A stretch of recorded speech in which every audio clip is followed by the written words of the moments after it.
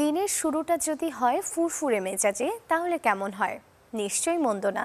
সেজন্য সারাটা দিন ফিট আর ফুরফুরে থাকতে ঘুম থেকে উঠেই বিছানাতেই করতে হবে কিছু শরীর চর্চা জানাব সেই শরীর চর্চার আদ্যপান্ত।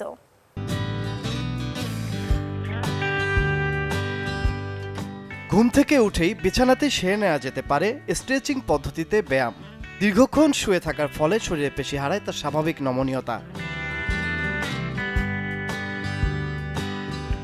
আর তাই পেশিকে সচল রাখতে স্ট্রেচিং পদ্ধতিতে অনুসরণ করা যেতে পারে, হাত পা প্রসারিত করার ব্যায়ামটি।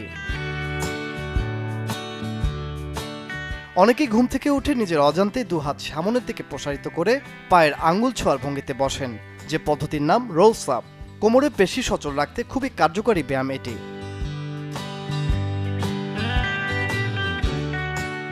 পেটের অতিরিক্ত মেদ কমাতে ও সবল থাকতে ক্রাঞ্চিস পদ্ধতি অত্যন্ত গুরুত্বপূর্ণ। বিছানায় শুয়ে হাঁটুকে নব্বই ডিগ্রি কোণে বাঁকিয়ে মাথা ও ঘাড় সামনের দিকে ঝুঁকিয়ে কিছুক্ষণ এমন ভঙ্গিতে থাকার পদ্ধতিটি বেশ কার্যকরী। ঘুম থেকে উঠে এটি বেশ কয়েকবার করা যেতে পারে। সারাদিন চাঙ্গা থাকতে হিপ ব্রিজ পদ্ধতিতে ব্যায়ামের কোনো জুড়ি নেই। বিছানায় শুয়ে পায়ের সাহায্যে কোমর উপরের দিকে তুলে হাত দুটি শরীরে স্পর্শ করে পাশে রাখার পদ্ধতিতে মিলবে দারুণ উপকার, যা কোমরের মেদ কমাতে করবে বেশ সাহায্য। Desk Report Channel 24.